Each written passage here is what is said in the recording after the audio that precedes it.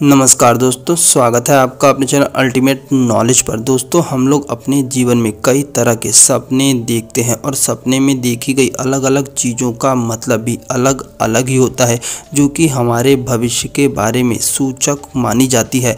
दोस्तों, ऐसा कहा जाता है कि सपने में भगवान को देखना अपने आप में ही शुभ होता है, लेकिन यह इस बात पर निर्भर करता है कि आप लोग भगवान को किस अवस्था में देखते हैं।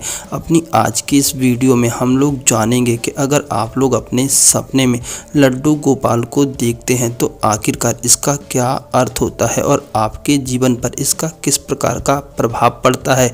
तो आइए बिना किसी देरी के शुरू करते हैं आज का अपना वीडियो।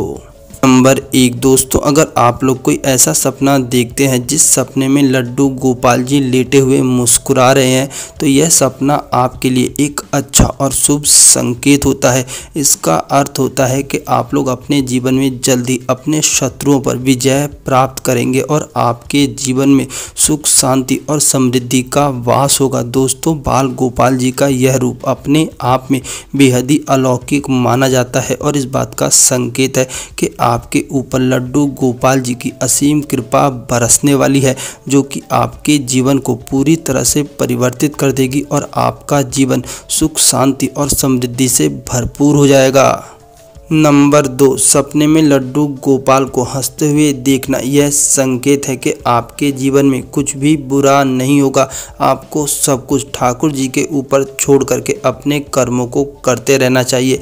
लड्डू गोपाल जी आपके जीवन में कभी भी कुछ बुरा नहीं होने देंगे और आपके सारे काम अपने आप ही बनते चले जाएँगे। दोस्तों, यह सपना अपने आप में काफ़ी अच्छा और शुभ माना जाता है, जो कि इस बात का सूचक है कि आप आपके जीवन से जल्द ही दुख और कष्ट पूरी तरह से समाप्त हो जाएँगे। नंबर तीन। दोस्तों, अगर सपने में लड्डू गोपाल जी आप लोगों को प्रसन्नचित मुद्रा में दिखाई देते हैं तो इसका मतलब है कि आपकी सेवा से लड्डू गोपाल जी बहुत ही प्रसन्न है। आपके सरल, सहज स्वभाव से की गई पूजा लड्डू गोपाल जी ने स्वीकार कर ली है और वह आपके ऊपर प्रसन्न है। आपको अपनी इच्छा अनुसार भगवान की सेवा सदैव करते रहना चाहिए। ऐसा करने से आपके ऊपर प्रभु की कृपा हमेशा बनी रहती है। que नंबर चार, सपने में लड्डू गोपाल की पूजा करना बेहद ही शुभ माना जाता है और यह सपना इस बात का संकेत है कि आपने लड्डू गोपाल की सेवा में कोई कमी रखी हुई है। आपको लड्डू गोपाल की सेवा सच्चे मन से और पूर्ण तरह समर्पित होकर के करनी चाहिए। अगर आप लोग सच्चे भाव से लड्डू गोपाल जी की सेवा करेंगे और उन्हें अपने छोटे बच्चे की तरह उनका ध्यान रखेंगे, तब आप लोगों को कभी भी ऐसे सपने नहीं आएँगे।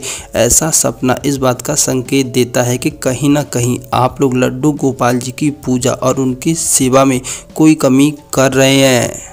नंबर पाँच, दोस्तों, अगर कोई विद्यार्थी अपने सपने में लड्डू गोपाल जी को देखता है तो यह इस बात का संकेत है कि आने वाले दिनों में वह विद्यार्थी अपनी पढ़ाई पूरे मन और ईमानदारी के साथ करेगा और साथ ही साथ उस बच्चे को अपनी पढ़ाई में अपार सफलता प्राप्त होगी। ऐसे बच्चे अपनी पढ़ाई में अच्छे नंबर लाते हैं और साथ ही साथ अच्छी पढ़ाई के लिए खुद को तैयार करते हैं। लेकिन आपको इस बात का ध्यान रखना पड़ेगा कि लड्डू गोपाल जी ने आपको जब आशीर्वाद दिया है तो आप भी लड्डू गोपाल की पूजा सच्चे मन से करें और पढ़ाई से अपना समय निकाल करके लड्डू गोपाल जी की भक्ति में भी थोड़ा मन लगाएँ। नंबर छः। दोस्तों, अगर आप लोग कोई ऐसा स्वप्न देखते हैं जिसमें आप लोग लड्डू गोपाल जी का श्रृंगार कर रहे हैं तो यह सपना आपके लिए एक शुभ संकेत होता है, क्योंकि इसका अर्थ होता है कि जल्द ही आप लोग किसी शादी या समारोह में शामिल हो सकते हैं, या फिर आपके जीवन में ही कोई समारोह या शादी का अवसर आ सकता है। इसी कारण से जब भी आप लोग इस प्रकार का स्वप्न देखें, तब आप लोगों को खुश होना चाहिए।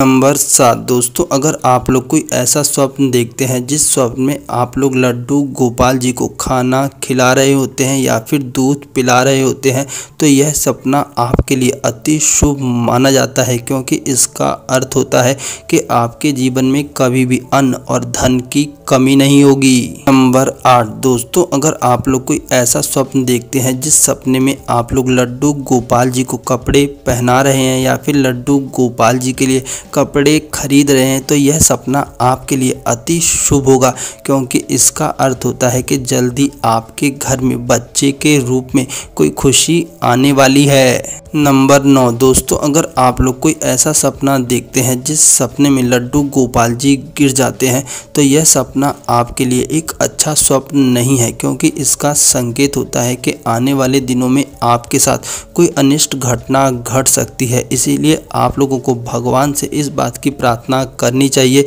कि अगर आप लोगों से कोई जाने अनजाने गलती हो गई हो तो लड्डू गोपाल जी आपको माफ़ करे और उस अनिष्ट से आपकी रक्षा करें। नंबर दस। दोस्तों, अगर आप लोग कोई ऐसा स्वप्न देखते हैं जिसमें लड्डू गोपाल की मूर्ति खंडित हो गई हो या फिर टूटी अवस्था में है तो यह सपना आपके लिए एक बुरा संकेत है, जो कि इस बात की ओर इशारा करता है कि जल्दी आपके जीवन में किसी दुर्घटना के होने की आशंका है। जब भी आप लोग कोई ऐसा स्वप्न देखे, तब आप लोगों को हरे कृष्णा हरे कृष्णा कृष्णा कृष्णा, हरे हरे हरे राम हरे राम राम राम, हरे हरे मंत्र का 108 बार प्रतिदिन जाप करना चाहिए। ऐसा करने से आपके जीवन में होने वाले अनिष्ट पूरी तरह से दूर हो जाएँगे।